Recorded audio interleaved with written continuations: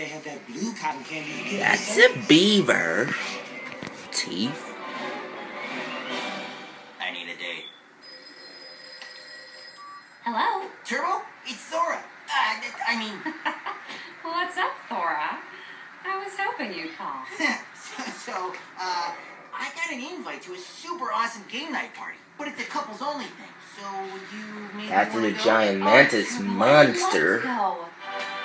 Go. But I have a full plate of princessing today.